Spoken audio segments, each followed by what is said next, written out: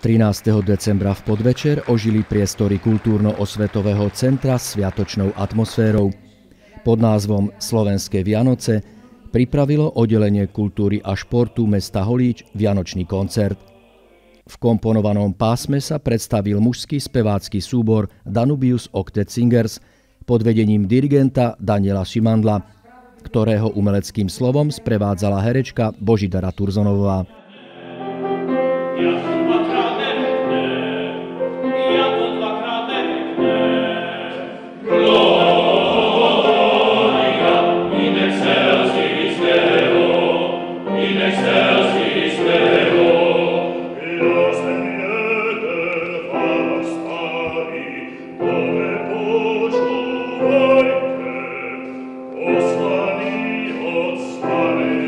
Atmosféru adventného obdobia navodili vianočné piesne, koledy i skladby, v prevažnej väčšine od autora Františka Prášila.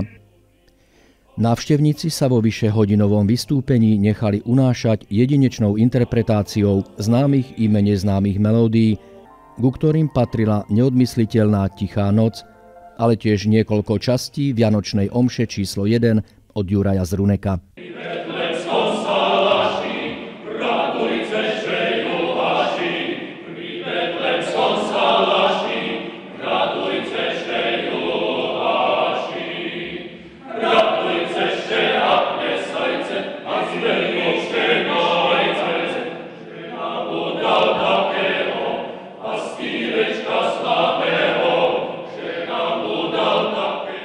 Ja mám veľký pôžitok z toho, ako oni spievajú. Ja som vlastne týmto e, od, odmenená. A aj to, keď sa to robí v takýchto krásnych priestoroch, ako máte vy, e, a, a je to taká nádherná predvianočná atmosféra, tak ja mám z toho pôžitok a radosť. Ak ste patrili k návštevníkom tohto koncertu, možno ste aj vy odchádzali s príjemnými pocitmi a s vďakou za symbolický darček, ktorým sa organizátori snažili obohatiť jeden z adventných podvečerov. Na záver nám dovolte odovzdať vám, divákom televízie Vivar, niekoľko prianí od jednej z účinkujúcich, herečky Božidary Turzonovovej.